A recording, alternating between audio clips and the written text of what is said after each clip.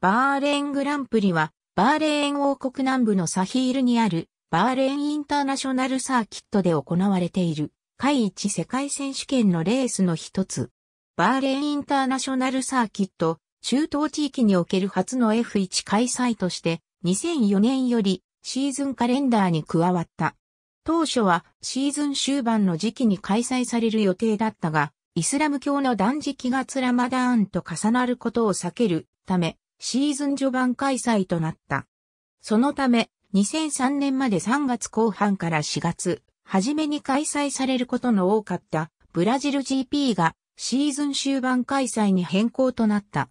イスラム教では飲酒が禁じられているため、表彰式の後のシャンパンファイトではシャンパンではなく、ノンアルコールのローズウォーターが用いられた。2006年は過去10年連続で開幕戦として開催されてきたオーストラリア GP が2006年コモンウェルスゲームズ開催の関係で4月に移動したことからバーレーン GP が開幕戦となった。2010年は耐久コースを使用したため、一周の長さが従来の5411メートルから6299メートルとなり、この年の F1 が開催されたサーキットの中では、スパフランコルシャンに次2番目に長いサーキットとなった。しかし、耐久コースでのレースはこの年限りで、翌2011年からは元のレイアウトに戻されることになった。また、同年には再び開幕戦となった。2011年も開幕戦として3月11から13日に予定されていたが、同国の反政府デモによる混乱のため安全が確保できないと判断され中止となった。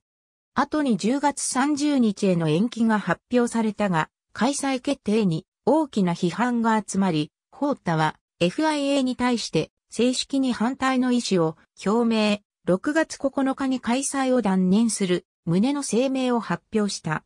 2012年は抗議活動が続く中で、サーキット周辺や連絡道路に警備体制を敷いて開催された。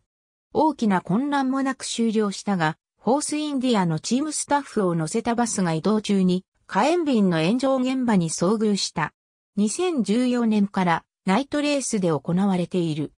2020年は新型コロナウイルス感染症の世界的流行により、海一史上初の無観客レースとなることが発表されたが、前週に行われる予定だったオーストラリア GP の開催中止を受ける形で延期され、8月25日の追加日程発表にて2週連続での開催が決まり、1戦目はバーレーングランプリとして通常のグランプリトラックで2戦目は開催地にちなみサヒールグランプリとして海一では初めてとなるアウタートラックを用いバーレーン GP より遅い時間に開催されることになった。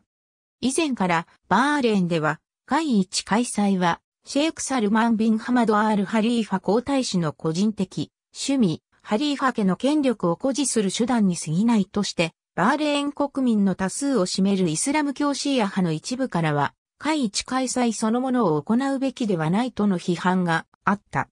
2011年の騒動においても、会一開催中止問題が浮上した途端に、サルマン皇太子が民衆への対話を呼びかけ始めたことから、民衆側からは、皇太子にとっては国民が血を流している惨事より、会一の方が大事なのだろう。国民の要求よりも自身の夢の方が大切だなんて、本当に悲しくなってくるなどとして、会一開催の方法を模索する、バーレーン政府サイドの動きに対する不満が続出している。